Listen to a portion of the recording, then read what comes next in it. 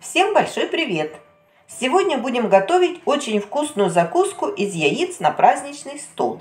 Список необходимых ингредиентов будет, как всегда, в конце ролика, а также в описании под видео. Чтобы не пропускать новые рецепты, лайкните это видео и подпишитесь на канал. Приятного просмотра! 4 вареных яйца разрезаем вдоль пополам и разделяем их на желтки и белки.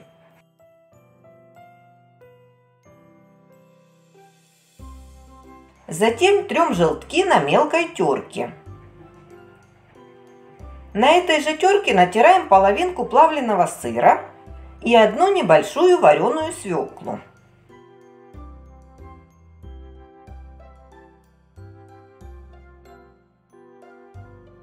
В полученную массу добавляем одну столовую ложку майонеза, перчим и солим по вкусу, а затем все тщательно перемешиваем. Как приготовить домашний майонез, можно посмотреть в подсказке. Ссылка также есть в описании под видео. Дальше выкладываем застеленную листьями салата тарелку половинки белков, наполняем их свекольной массой.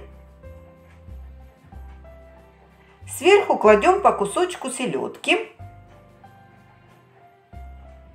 и украшаем веточками укропа. Вот и все.